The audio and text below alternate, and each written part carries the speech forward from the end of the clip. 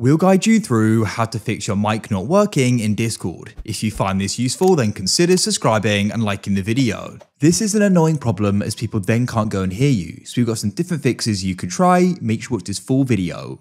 To get started, come to the bottom left of Discord. Make sure you're not currently muted. It'll go and say unmute if you are, and you can click on it. It should go and say mute. Now go to the bottom left again and press user settings. Scroll down in here into app settings and press voice and video. Come into voice and make sure the correct input device is selected. This is your microphone.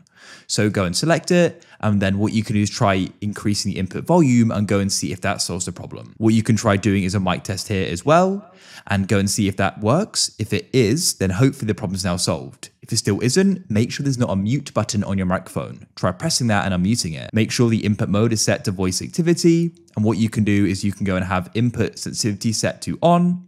Scroll down, you can try turning noise suppression to none, see if that solves it. And you can also try turning off adv- advanced voice activity and see if that solves a problem. Now, if it still doesn't, what we can try doing is just resetting all the settings. Press debugging at the top and press reset voice and video settings and press OK.